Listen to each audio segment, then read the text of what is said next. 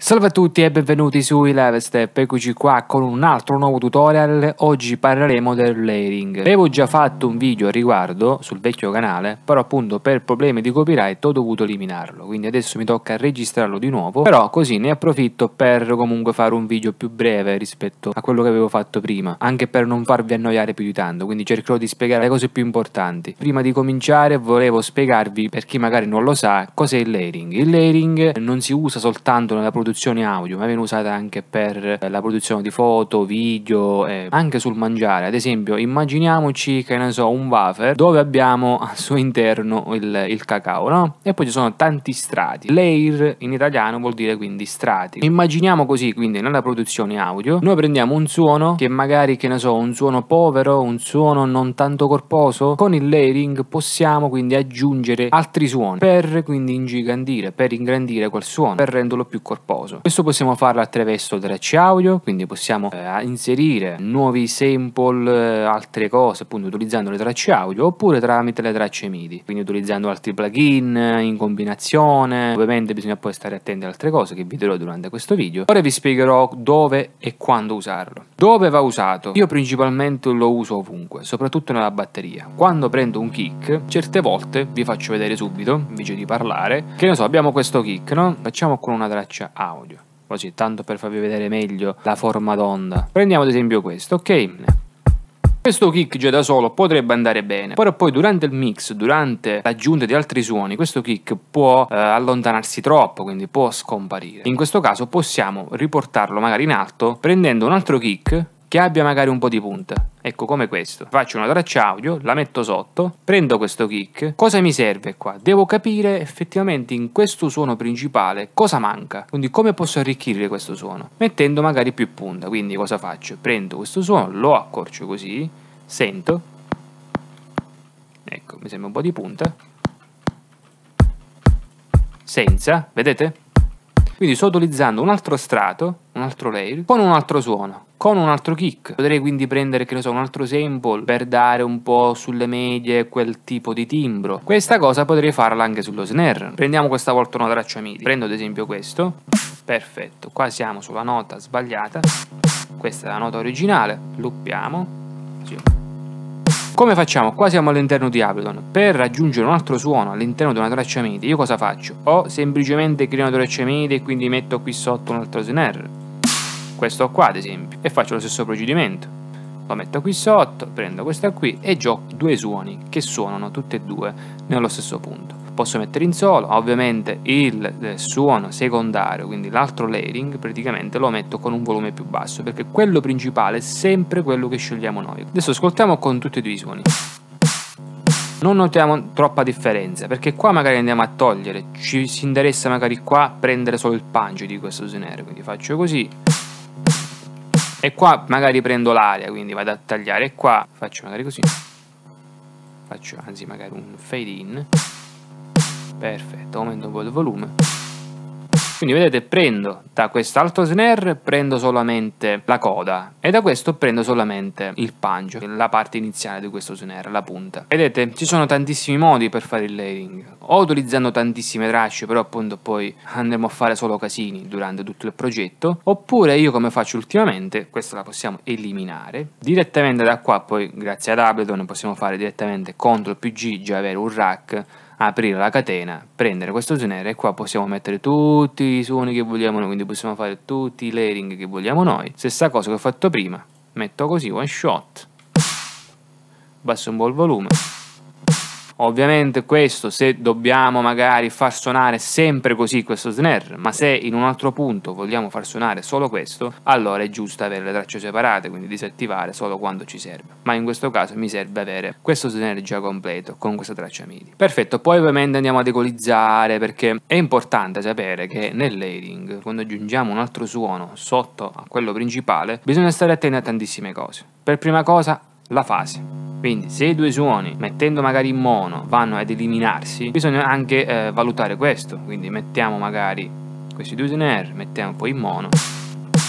ecco non abbiamo una cancellazione perché poi una cancellazione effettiva è impossibile qua ascoltiamo se magari c'è, qualche problema perché a volte mi capita soprattutto quando noi andiamo a duplicare questo stesso suono perché che ne so magari qualcuno vuole fare CTRL più D duplica utilizzare sempre questo suono però magari modificare il pitch da questo farlo così magari questo allungarlo questo modificarlo.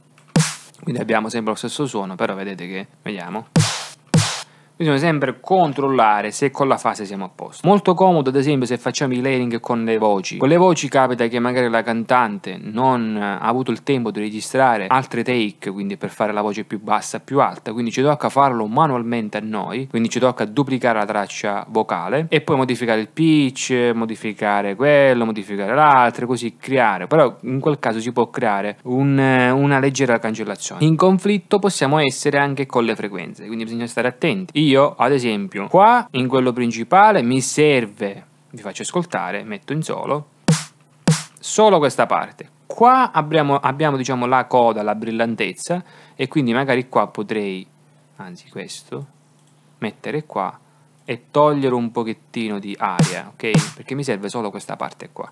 Qua la vado a cancellare un po' nel secondo invece mi serve quindi solo la, la parte la parte brillante. Ecco qua e quindi taglio fino a qua perché qua poi ci sarà questo qua. Quindi evitiamo di dare i conflitti. Vedete poi magari questo dura troppo magari poi lo accorcio così.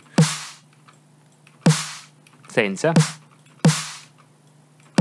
qua possiamo aggiungere poi un riverbero possiamo aggiungere un delay con i layering è una cosa molto comoda anche per dare un effetto stereo abbastanza interessante perché questo lo possiamo mettere in mono, questo lo possiamo mettere in stereo oppure duplicare o aggiungere un altro sample qui sotto e magari questo metterlo un po' a sinistra, quello un po', un po a destra e effettivamente andremo quindi a dare molta apertura stereo. Poi ci possiamo aggiungere un clap qui sotto ecco questo qua ad esempio qua questo è un altro layering quindi facciamo un po' più corto abbassiamo notevolmente il volume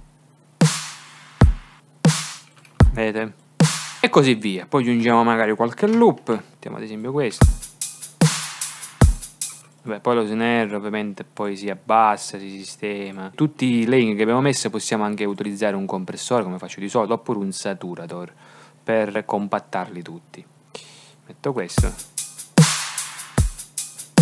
Perfetto. Basso un po' la punta nello snare posso mettere anche un kick, posso prendere anche questo, ci mostra nel browser e utilizzerò questo per metterlo qua, per dare un po' di punta. Ovviamente mi serve solo la punta, quindi prendo questo. Vedete? Già mi dà appunto più punch. Poi ovviamente questo vale anche per, che ne so, qualche synth, quindi magari, che ne so, eh, abbiamo fatto un lead, ho fatto questa melodia così a caso.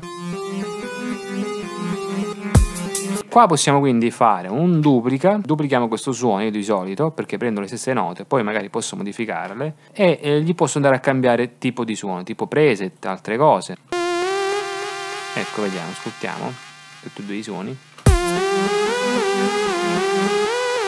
Con questo gli do più corpo e con questo gli do più apertura. Ovviamente abbiamo un conflitto esagerato di frequenze, quindi è anche di, di ambiente, quindi in questo caso qua gli, darò, gli andrò a togliere qua la parte.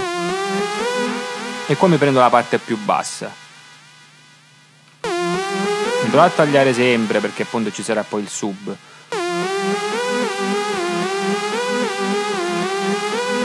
Senza? Vedete?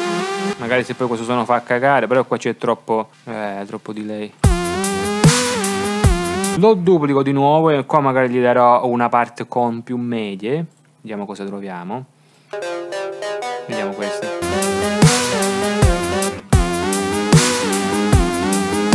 Questo non basta ovviamente ed equalizzare soltanto, ma è soprattutto importante gestire il sound design, quindi ci vuole un suono più corposo, un suono con più alte, un suono con più medio, bisogna diciamo costruire un suono equilibrato, quindi se quel suono è povero di frequenze alte è inutile andare a equalizzare, per prima cosa andiamo subito a sistemare sul sound design singolo di quel suono.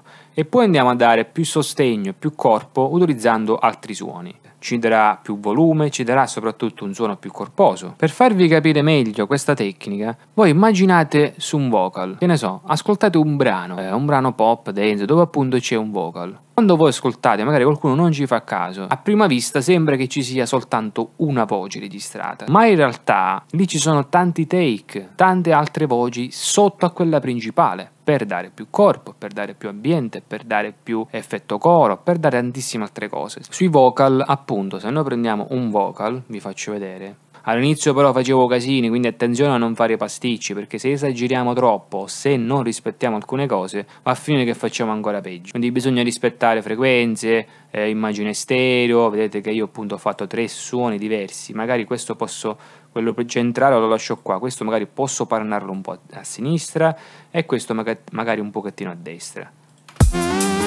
Eh, prendiamo che ne so un vocal Vabbè, prendiamo questo, no? In questa voce poi sotto andrò a registrare una voce più bassa, una voce un po' più alta. Se non abbiamo già la possibilità, o magari utilizziamo, che ne so, dei sample dove abbiamo solo questa voce, allora ci tocca duplicare tre volte o come vi viene più facile magari poi ci abbasso un po' il pitch ci sono altri plugin che ci permettono di andare a sdoppiare effetto chorus quindi metto un'ottava più bassa e qua metto magari un'ottava più, più alta Here, Ascoltiamo con questa qua. Magari posso giocare un po' con, con la formante.